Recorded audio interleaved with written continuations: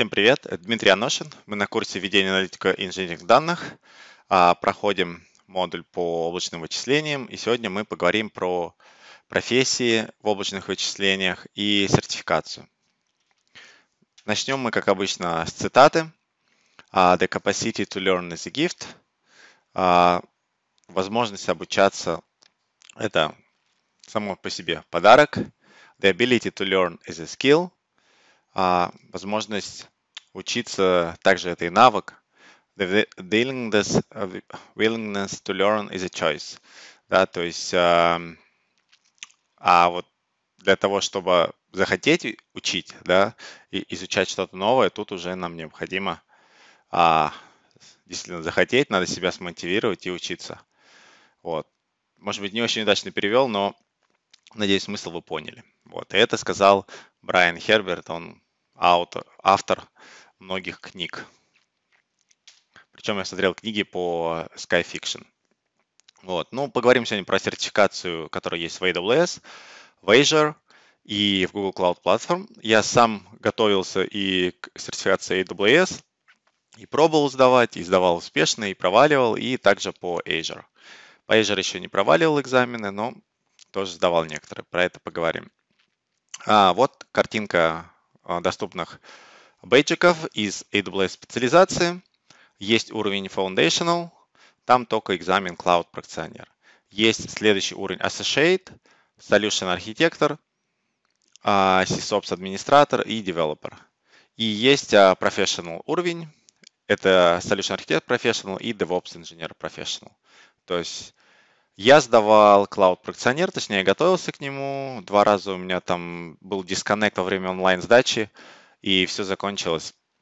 Я уже не стал заморачиваться, пересдавать. А, поставил себе бейджик в LinkedIn, что я его сдал.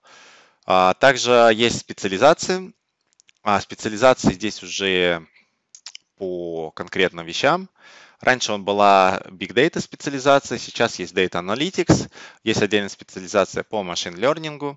Также добавили недавно специализацию по Alexa Skill Builder. Alexa это у нас а, голосовой помощник по безопасности, по нетворкингу. То есть зависит от того, чем вы занимаетесь. Есть, есть целый, целый паф, да, целый путь подготовки. Я еще также сдавал экзамен Solution Architector. Вот, а, насколько у меня я прошел тренинги в Амазоне онлайн, но что-то у меня не получилось сдать. Я уже не стал пересдавать. Вот. По Big Data специализации я прошел все тренинги, но чего-то уже после того, как у меня два раза был дисконнект по Cloud пракционеру, мне уже не хватило сил а, заскедлить и сдавать его, но я тоже написал LinkedIn, что я его сдал. Вот, посмотрим, а, какие требования к этим ключевым экзаменам. Есть AWS Cloud пракционер, то есть он самый базовый, самый простой. Я вообще всем рекомендую иметь либо его, либо Azure Fundamentals. То есть там такие основы, которые, многие из которых мы уже затронули здесь, да, и плюс дополнительно там конкретные продукты. Вот, то есть все начинается с того, а что такое вообще облако, а какие там принципы архитектурные, а как value preposition, да, чем отличается облако от не облака. И вот дальше начинается уже немножко, совсем не сложно, но просто надо знать, какие сервисы и для чего они используются. Вот. Про безопасность, да, и VNet, и сабнеты, и там хэширование, и ключи, то есть какие сервисы обеспечивают безопасность. Отдельная информация по биллингу, по оплате, как можно посмотреть информацию, как это все оплачивается.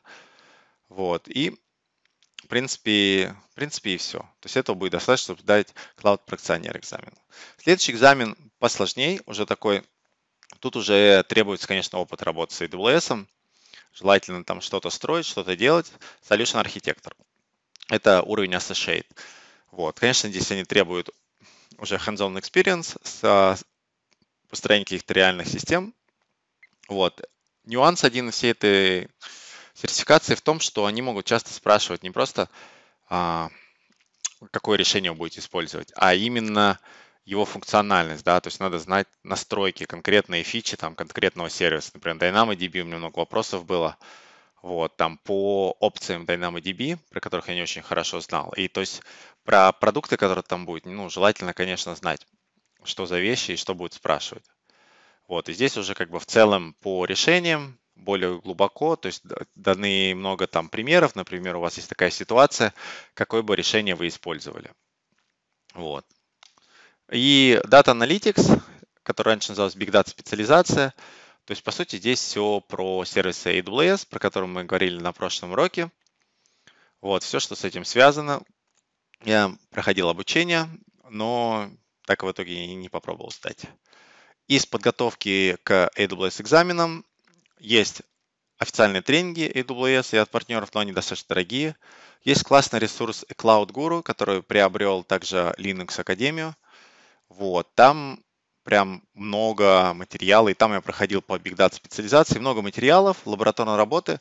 И самая главная ценность вот этих площадок то, что вам дают доступ э, к AWS, потому что это уже не на виртуальной машине, на локальном компьютере запускать что-то, вам надо реально реальное облако, реальные кейсы, э, и это стоит денег. Поэтому вот, например, оплачивать подписку в Cloud Guru дешевле, и там уже пробовать запускать разные сервисы, чем, например, самостоятельно. Есть отличные книги у AWS и по Solution Architecture. Здесь вот пример Advanced Networking. Вот, такие книжки, они тоже помогают. А на Курсере есть материалы, и есть еще Quick Labs, там по Google Cloud и по AWS много материалов. Вот, теперь про Azure сертификация. То есть у них для каждой специализации есть uh, Fundamentals, uh, есть AZ900, это у нас Azure Fundamentals, я его недавно сдал. Uh, есть, например, DP900, это у нас Data Fundamentals, есть еще по AI 900, да, то есть это по Artificial Intelligence uh, Fundamentals. И дальше идет специализация. Например, по дате есть DP 200, DP201, который сейчас уже, по-моему, заменили на DP300. Скорее всего, они туда добавили Synapse. Вот. И, в принципе, да, вот можно выбрать свой путь, кем вы себя видите, какую специализацию. Вот. И если у вас есть, например, сертификация последнего уровня, например, AWS и Azure уровня Professional, то это значит, вы действительно разбираетесь а, в облаке, действительно разбираетесь в этой специализации, потому что ну, достаточно серьезные экзамены, и к ним а, не, невозможно просто так подготовиться, не имея там реально, реальной практики. Ну вот и продолжение, да, у нас есть AI-инженер, Data Scientist, IoT Developer, а, даже SIP Workloads и Database администратор. Вот. Но сам, самое классное это, конечно, а, экзамен, который Azure DevOps Solution Exam AZ400. Возможно, есть более свежая картинка, есть дополнительные экзамены, вот, но к ним также надо готовиться. Если посмотреть по подготовке к экзаменам, то Microsoft а, дает нам достаточно материалов бесплатных для онлайн-подготовки абсолютно для каждого экзамена. Вот. Есть платные тренинги да, на, которые у Microsoft. И на Cloud Guru, конечно, у нас есть тоже, по, так же как по AWS, есть и по Azure. Ну и на Курсере я тоже видел, видел курсы.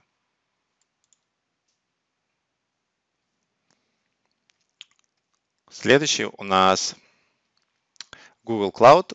А, там меньше всего экзаменов. Есть Foundational, а, Google Cloud Certified – вот, другой по G Suite, который а, не очень полезен. Вот, следующий уровень архитектора и есть специализация. Есть Data Engineer, есть Network и Security. И еще есть Cloud Developer. Вот. В зависимости от того, где вы себя видите, каким решением больше нравится работать. Подготовку Google экзаменам. А, вот этот парень, чувак, Дэн Сулливан, во-первых, он написал очень классные книги, очень подробные по по каждому экзамену. Во-вторых, на Udemy у него курсы, и часто я, я в телеграм-канал скидываю ссылки на его бесплатные часто скидываю ссылки на его бесплатные лабораторные работы. А на Курсере один из первых появились сертификации Google, прям подготовки Google, но они недоступны были в бесплатном режиме, потому что, опять же, там есть стоимость для лабораторных работ. Так что самое, самое сложное, самое неудобное подготовка к экзаменам с клаудом, потому что вам реально надо работать еще облако для того, чтобы оплачивать а, чтобы вы могли запускать реальные сервисы, которые стоят денег. И последнее это Quick Labs. Вот, там есть лабораторные работы. Вот, теперь вопрос. А, а, а нужна ли нам сертификация? А у каждого есть свое мнение по этому вопросу, и для этого я даже провел небольшой опрос а, в телеграм-канале, задал вопрос, как вы считаете, ну, помогает сертификация или не помогает. Вот. Самый популярный ответ, что не сильно она помогает при приеме на работу, не дает вам никакого преимущества, но тем не, не менее позволяет э, систематизировать знания. Вот. Я лично выбрал ответ, во-первых, познавает, помогает узнать best practice, потому что часто мы работаем с инструментом и даже не догадываемся, что он умеет делать. Вот тут мы, конечно, можем узнать. Вот. А другой вопрос. Я указал, что я могу себе указать в резюме сертификаты, которых по факту не имею. И никто сильно по этому поводу не заморачивается, не проверит. Потому что знания, которые мы получаем, когда мы сдаем экзамен, а, это теория. И она очень сильно расходится с практикой. Но это мое мнение. Вот в целом, я считаю, что сертификация, она очень может помочь в начале вашей карьеры. Например, вы, вы только учите дата-аналитику или там что-нибудь изучаете, вот, у вас достаточно опыта, достаточно знаний, но вы можете поднапрячься, сдать экзамен и получить сертификат, добавить его к резюме. И вы приходите к работодателю, и у вас уже у вас есть а, сертификат, что говорит, что вы какой-никакой, но уже профессионал, да, может быть и по бумаге, по сертификату, но вы уже разбираетесь в вопросе. Для суперопытных специалистов это может быть только а, требования, например, очень много людей говорили про консалтинг. Я сам со своей консалтинг-компанией занимался, и для того, чтобы быть, например, партнером Microsoft или партнером AWS или там Tableau, первое требование – это сдать сертификаты, и там написано сколько и каких. Второе требование – это заплатить членский взнос, да, там, 3, например, 3000 долларов в год надо заплатить, чтобы быть партнером Табло, или полторы тысячи, чтобы быть партнером Microsoft Silver, и если мы хотим Gold, то это уже там 3000, и надо там, по 3-4 сертификата сдать. То есть все это стоит денег, и подготовка к сертификатам занимает время. Вот. Но такое ощущение, это у нас как такой firewall. Если у вас нет сертификата, значит вы не знакомы с технологией. Теперь я хочу потратить немножко времени для того, чтобы а, посмотреть, например, Headhunter, какие есть там вакансии, потом посмотреть на Indeed а, в Европе. Да, посмотрим по ключевым словам там AWS, Cloud Computing и все, что с этим связано.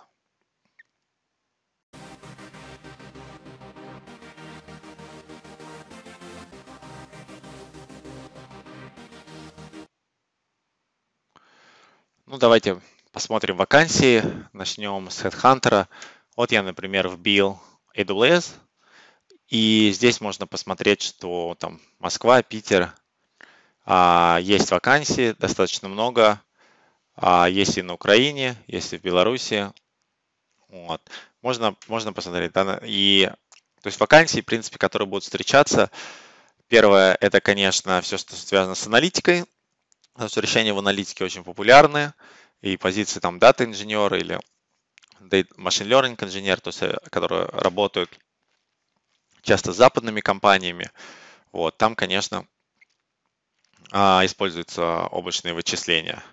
Есть э, просто разработчики кодинг, а, кодинг, да, и, соответственно, зарплата тут указана в USD долларах, что говорит о том, что, скорее всего, это работать просто на Запад. Вот. Ну, можно, например, посмотреть Technical Lead. А, вот есть а, Австралия Remote.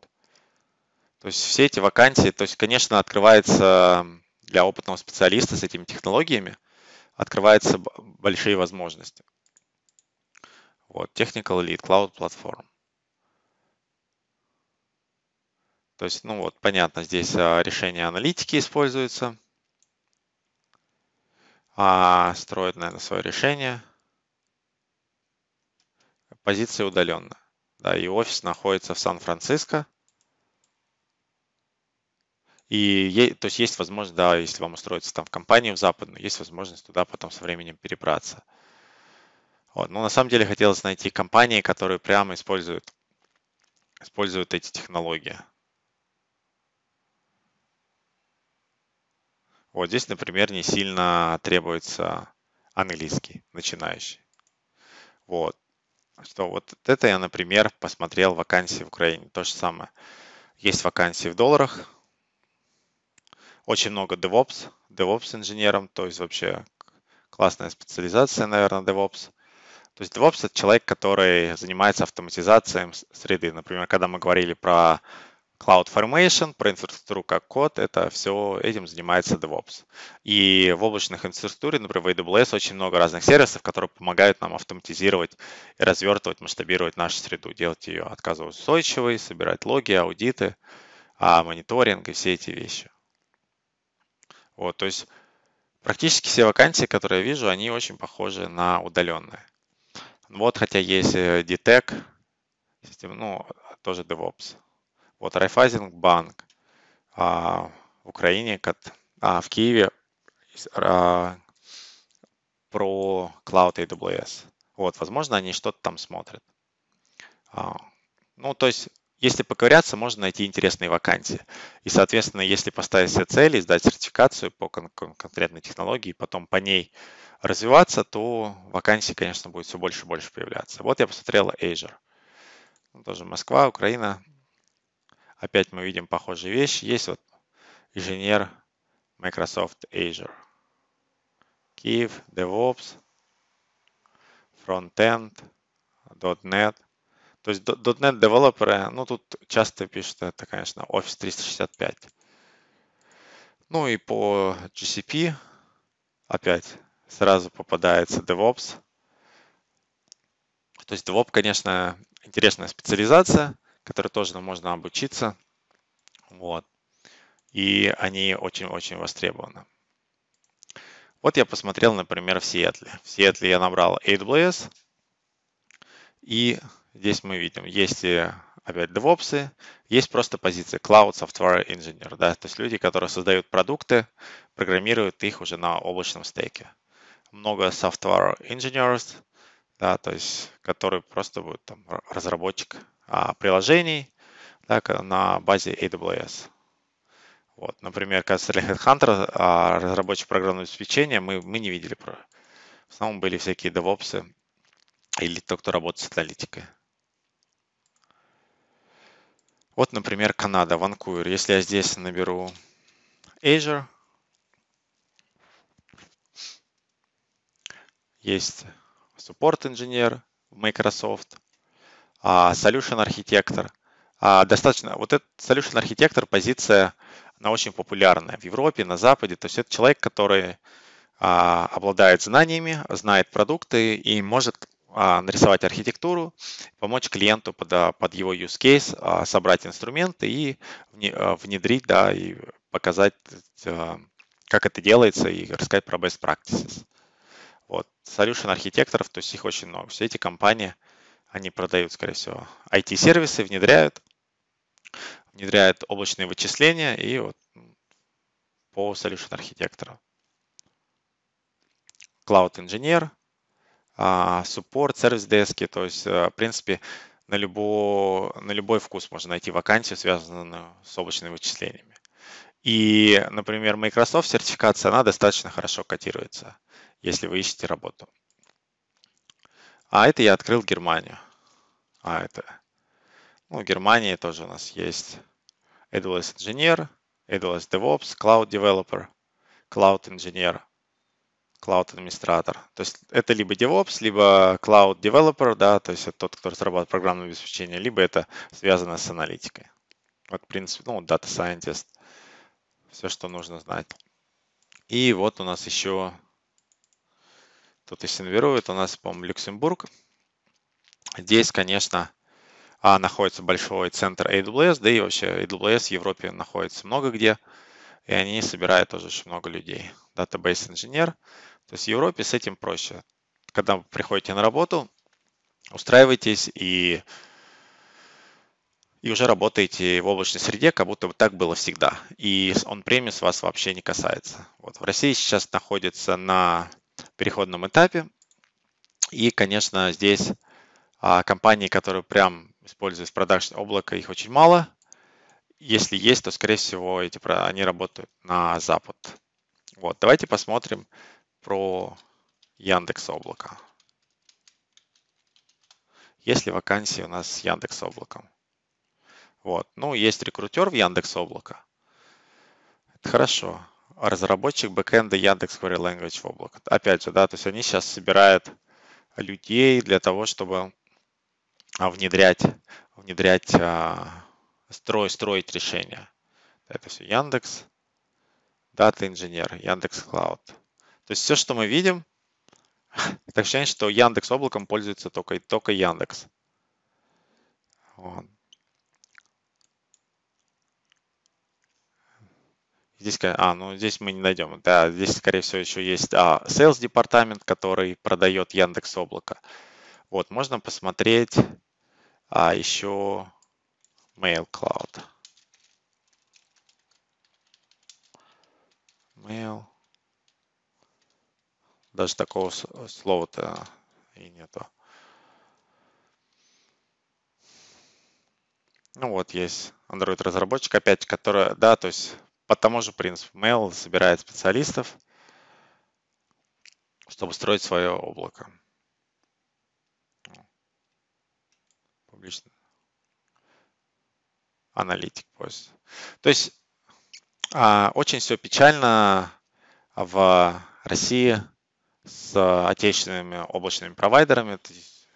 И пока мы, не будет ситуации, когда мы заходим на HeadHunter и вбиваем так же, как я вбиваю AWS, и мне выкатывается огромный список вакансий, выбирай не хочу. Вот. И сейчас по Яндекс облаку, по Mail облаку вообще пусто. Соответственно, пока тратить на них время не стоит. Лучше сфокусироваться на какой-нибудь конкретной технологии, что он ближе, Google, Microsoft или Amazon с AWS, и получить сертификаты, да, и уже двигаться в этом направлении. А на этом модуле все. В следующем модуле, он последним будет в облаке, я хочу немножко показать на примере, а, как можно использовать Python. Да, у AWS есть отличный Bootcamp бесплатный, и мы его просто с вами сделаем для того, чтобы получить а, первоначальные навыки по работе с Python, которые нам пригодятся в последующих модулях.